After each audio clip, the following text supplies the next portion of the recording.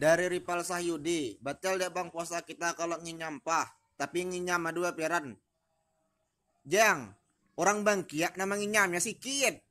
Kalau lah dua peratnya ya lapar, kelapar lah. Eh. Kan nginyam lagi udah ya lapar jauh nama. Eh. Kan nginyam lagi